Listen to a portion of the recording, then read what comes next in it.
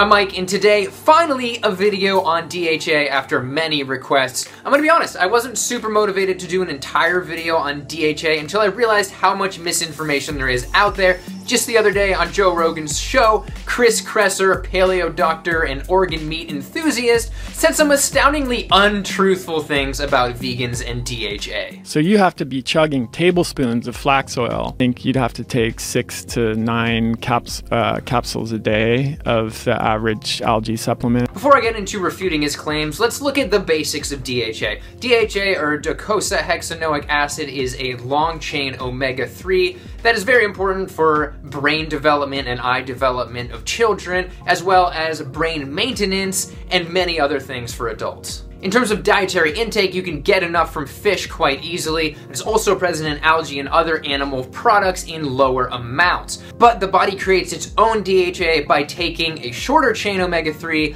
ALA or alpha-linolenic acid, and elongating it or converting it into DHA. Vegans can get plenty of ALA from nuts and seeds like flax seeds, walnuts, and hemp seeds, but we have to ask the question, can humans convert enough ALA into DHA to meet their needs? Which brings me back to the interview with Chris Kresser on Joe Rogan, where he essentially debunks veganism one exaggeration at a time. Only about 5 to 10% of that gets converted into EPA and even less to DHA, like 2 to 5%. So you have to be chugging tablespoons of flax oil in order to get as much EPA or DHEA that you would get from eating just a little bit of fish. No, Chris, you're wrong. Let's take a look at the DHA contents of fish. Let's look at this health.gov sheet, averaging out all the salmon, salmon being one of the highest DHA content fish. An FDA serving size will give you about 450 milligrams of DHA. Looking at tuna, averaging all those out, a 3 ounce serving is only about 200 milligrams, so we're looking at a range of around 300 milligrams. Okay, now let's look to the flax oil. He cited a 2 to 5% conversion rate of ALA to DHA, so we'll average that out to about 3.5, even though it's often cited as closer to 4. But just one tablespoon of flax oil contains 8 grams of ALA, which should be converted to about 300 milligrams of DHA, right in there with the average serving of fish. So that statement was absolutely not true. You do not need to be chugging flax oil here, and you don't need to go the oil route at all. 3 ounces of walnuts will give you just as much ALA as that tablespoon of flax oil. It gets worse when Joe Rogan asks him about supplementing vegan DHA. If they do take microalgae, is that sufficient, or how much different difference is that than eating fish? I think you'd have to take six to nine caps, uh, capsules a day of the average algae supplement in order to meet your DHA. That's needs. not bad. That know. could be done. Now, correct me if I'm wrong, but it appears that Joe Rogan either just pushes or fully sells supplements, and I think he's kind of seeing an opportunity here. When he says 69 pills a day, Joe Rogan's like, yeah, that's totally doable.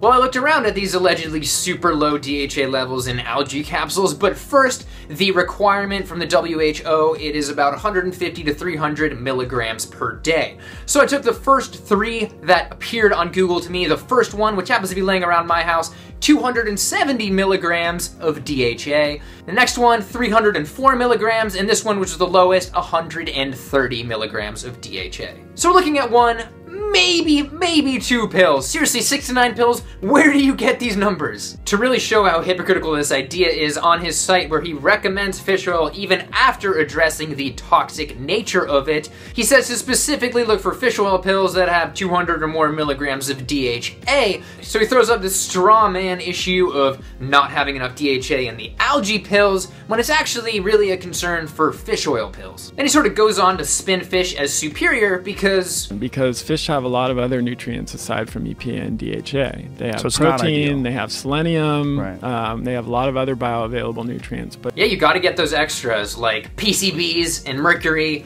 and dioxin, all even in wild caught fish from the ocean due to worldwide ambient industrial toxins. The most ironic part of this, they are now feeding tilapia flaxseed in order to get the DHA levels higher. Okay, that's enough about Chris Kresser's DHA myths. Now to the important questions, do vegans even have DHA deficiencies? There have been multiple studies showing that vegans have lower DHA levels than fish eaters, but as this one said, there is no evidence of adverse effects on health or cognitive function with lower DHA intake. And as this 2014 study mentions, vegan DHA levels are the same as non-fish eating omnivores. So these are not uniquely vegan levels, and sometimes it's even the opposite from this study when looking at some fish eaters, some non-fish eating omnivores, some vegetarians, and vegans, they found, get this, vegan women had higher blood DHA levels than any other group, than the fish eaters, than anyone. Interestingly, they concluded that the vegans might just have an increased ability to convert ALA to DHA. This makes sense if you are not feeding yourself DHA externally and you have the ability to make more, you can just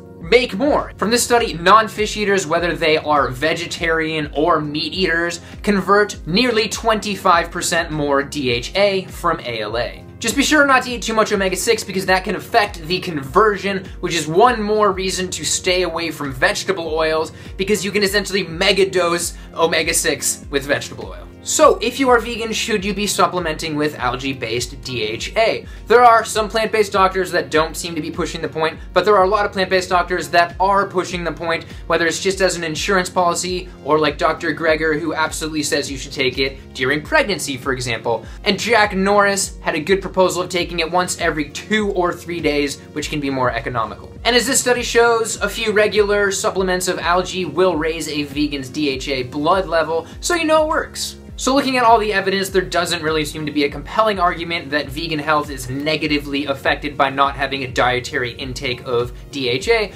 which begs the question, could it be that vegan DHA levels are just how much a person's body needs, and people who eat fish happen to just have a larger store, much like how people store extra fat? Either way, make sure you get those omega-3 precursors in walnuts and flax seeds and hemp seeds, and you have really nothing to lose by supplementing, except if you megadose, there's a possibility that there could be increased bleeding or bruising, as some people have warned.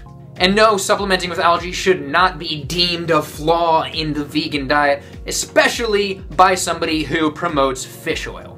As for Chris Kresser's interview on Joe Rogan, I could dedicate an entire episode to all of the fallacies that they go over in that video, but just for fun, one quick one that was extra weak. Yeah, but even there, you know, as we talked about, you're going to contribute. You're going to contribute to suffering, yeah. and potentially more if you're looking on the scale of individual lives. You have to start evaluating, like is a cow more sentient or worth, you know, the life of a cow worth more than the life of a rabbit or a vole or the kind of animals that are being killed in, in the, you know, in the production of these plant foods? Um, it's, it's, a real question. Eating vegan is just choosing to kill rabbits and other small animals instead of cows, pigs, and chickens. Like it's equal. This is crazy. I even just made this chart on plantspace.org out of data from animalvisuals.com showing how many animals die per million calories of various food, including harvesting deaths. It's not even close. And while I'm on the subject, and I know some of you are wondering, yes, Plant Space is in the making. I'm currently illustrating some of the most important studies like this one by Caldwell Esselstyn so they're more easily understood with graphics.